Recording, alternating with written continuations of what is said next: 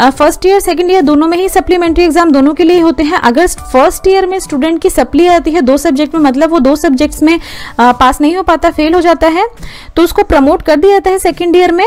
But उसकी उसको बैठना होता है जो सप्लीमेंट्री एग्ज़ाम होते हैं नवंबर से दिसंबर में उसके भी उसके लिए उसको बैठना होता है उन एग्ज़ाम्स में और उसको क्लियर करना होता है। देन अगर उसकी सप्ली आती है दो से ज़्यादा सब्जेक्ट्स में अगर वो फेल हो जाता है तो उसको प्रमोट नहीं किया जाता है सेकेंड ईयर में। इसको सेकेंड ईयर में भेज दिया जाता है कि देखिए दो अप टू टू जो है अगर दो तक में है तो भेज दिया जाता है बट दो से ज़्यादा सब्जेक्ट्स में अगर फेल हो गया है तो उसको सेकेंड ईयर में नहीं भेजा जाता है ईयर डाउन हो जाता है उसका।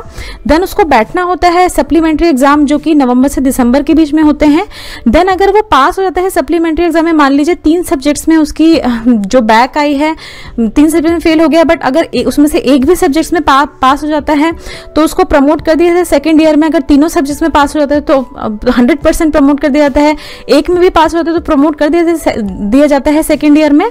देन सेकेंड ईयर एग्ज़ाम में देखिए क्या होता है कि अगर स्टूडेंट जो है उसकी सप्ली आती है या तो सेकेंड ईयर के किसी सब्जेक्ट्स में या फ़र्स्ट ईयर का ही देखिए, जैसे इसने एग्ज़ाम दिए यहाँ पर यहाँ पर ये इसकी दो सब्जेक्ट्स में सप्ली थी बट ये एग्ज़ाम में बैठा और इसकी अगर मान लीजिए एक सब्जेक्ट में सब्जेक्ट में क्लियर नहीं हुई तो ये सेकेंड ईयर में तो है बट क्या होता है देखिए, अगर किसी भी सब्जेक्ट्स में या तो सेकेंड ईयर के किसी सब्जेक्ट्स में किसी की बैक आ गई या फ़र्स्ट ईयर का सब्जेक्ट ही है जो वो स्टूडेंट क्लियर नहीं कर पा रहा है तो उसको लाइसेंस नहीं मिलता जब तक वो उस, अपनी उस बैक को क्लियर नहीं करता। मतलब देखिए, यहाँ फ़र्स्ट ईयर में क्या हो रहा था कि अगर आपकी सप्ली है भी दो सब्जेक्ट में, तभी आपको प्रमोट कर दिया जा रहा था बट सेकेंड ईयर एग्ज़ाम जो है उसमें आपको वो क्लियर करनी ही पड़ेगी सप्ली। उसके बिना आपको क्या होगा? लाइसेंस नहीं मिल पाएगा। देन उसको क्या करना पड़ता है? उसको फिर से सप्लीमेंट्री एग्ज़ाम में बैठना होता है, नवंबर से दिसंबर के बीच में।